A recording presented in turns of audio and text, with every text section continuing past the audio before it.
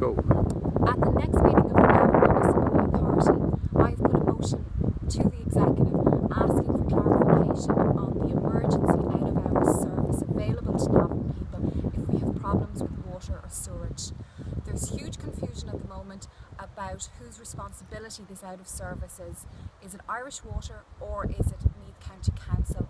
We really need this clarified. It's leading emergency situations at the weekend for Navan residents with no clear direction on who to call on.